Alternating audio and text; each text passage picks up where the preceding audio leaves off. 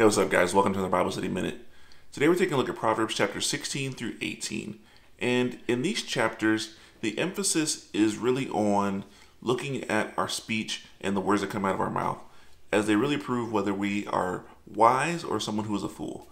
So, someone who is careful about what they say and really shows what's in their heart as good and pure is someone who is wise and their speech in essence elevates them. But at the same time, there are people who show themselves as fools by what they by what they say. And so these are people that cause division, take bribes, pervert justice, all that kind of stuff based on their words and their actions.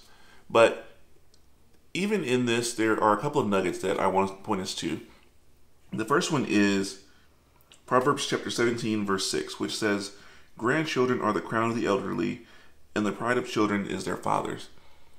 I mean, we all know that grandparents love their grandchildren. There's no denying that. But what we see here is that children look up to their to their fathers, and more so just their parents in general. So for us as parents who are raising children, we need to remember that and make sure that we are seeking after wisdom, just living a godly life, so that we are setting an example for them because they are looking up to us as the example for how they are going to live their lives eventually. So that's the first one. The second one goes back to chapter 16, and it's chapter 16, verse 6, which says, Iniquity is atoned for by loyalty and faithfulness, and one turns from evil by the fear of the Lord.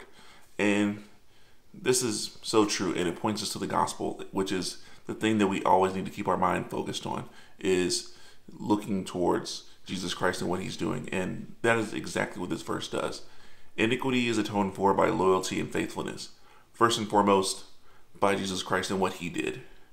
He was loyal to the Father by doing exactly what God wanted him to do, and he was faithful to complete the mission that he was sent to do.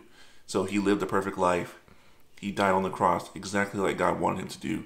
And it, it is that loyalty and faithfulness that atones for our iniquities.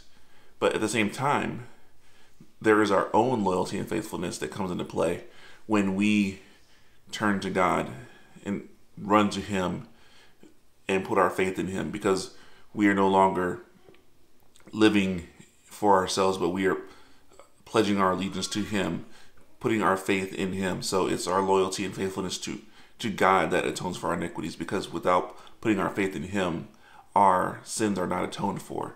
And ultimately, what we see here is that the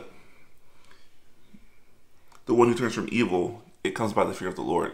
And really, when we understand who God is and understand how serious our sin is, that is when the first part of the verse happens. So we need to understand who God is, how serious our sin is, and once we do, we are able to turn from evil, put our faith in God, and then give our loyalty in the rest of our lives to Him. And that's really the heart of what we do every single day is putting our faith in God, trusting in Him, living a life of wisdom so that we are pleasing to Him because that is where our loyalty lies. So that's what I want to encourage you with today is one, look at all these proverbs and see how you're living your life. Are you living your life as someone who is wise or someone who is showing himself as a fool? And just really look at this verse, the gospel, and see your need for atoning and putting your faith and loyalty in Jesus Christ. So that's all I have for now. Until next time, grace and peace.